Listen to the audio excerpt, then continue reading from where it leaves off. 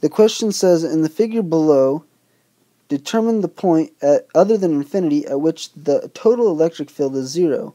And so this is a really large charge and it has a large uh, elect or really strong electric field. This has a really small electric field, so it's only going to cancel out a little bit over here. So it's asking meters to the left of the negative 2.5 times 10 to the negative 6 coulomb charge. Uh, so what's the, where is the electric field? Zero. And kind of demonstrate everything to, uh, I could draw the fi some field lines in. Uh, they won't be they won't be great field lines, but I can draw some in. So they would go something like this. And then the ones on the back would come out and over and the ones on the back would come out and over. And then somewhere like right around here, there's no electric field.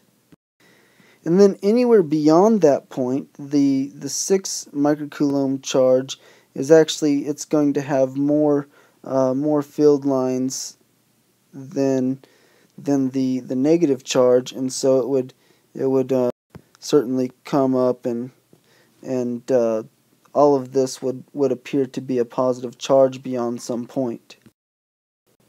So what we're saying is that there's an electric field 1 and you subtract out electric field 2 and it's going to equal 0 at some point. There's going to be a place, or actually, so we would say we the sum of the electric fields equals 0 at some point. And so the sum of the electric fields, we're going to say that one is a positive field and one's a negative field. So the positive field we're going to call E1, the negative field we'll call E2, and then we're going to we're going to add E2 to the other side. So we'll say that E1 is equal to E2. And we just need to find the distance at which that is true. So we can replace the electric field with the equation, so K times Q1 over and and so we're talking about E1. This is a distance of 1 and we don't so the the distance right here, 1 meter, we don't know beyond that, but we know that 1 plus d some distance squared. And then at that same, so we're going to call this, let me make this yellow, we're going to call this distance, this unknown distance d, and this is where the field is 0. And so this is equal to equal to k times q2 over d squared. If we divide both sides by k, k cancels out, and we're left with uh, q1 over 1 plus d squared equals q2 over d squared.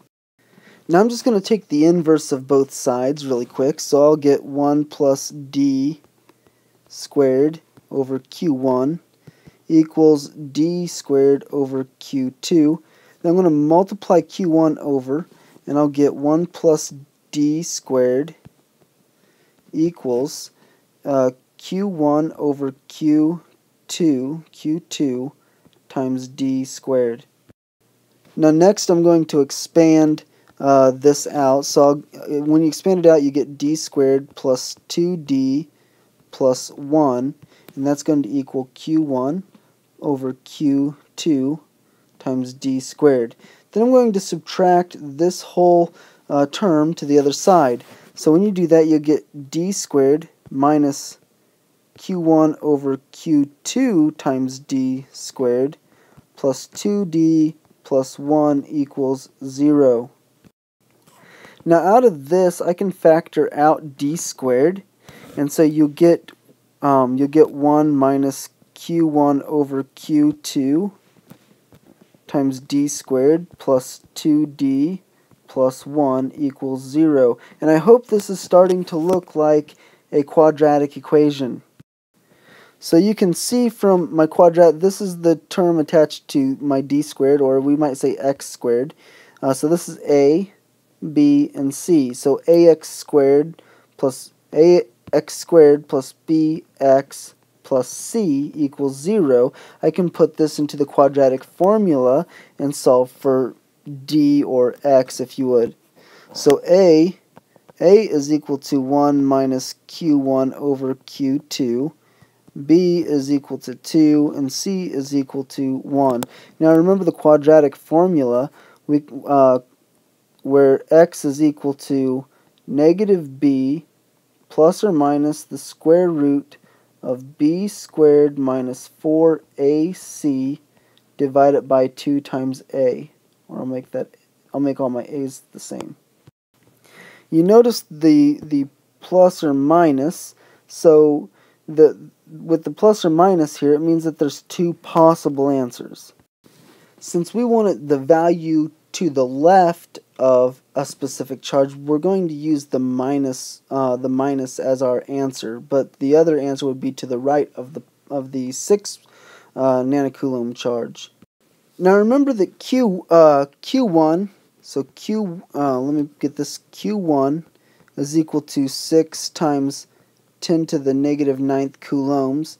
And Q2, remember, is a negative 2.5, but we accounted for the negative by subtracting our electric field rather than the sum of the electric fields equals 0. We accounted for that negative charge by subtracting. So we're just going to use the magnitude of Q2, 2.5 times 10 to the negative ninth. When you divide those things out, the, the 10s to the negative ninths cancel out, and so you get basically 6 over 2.5. And so A, A is equal to 1 minus 6 over 2.5. And that's equal to negative 1.4.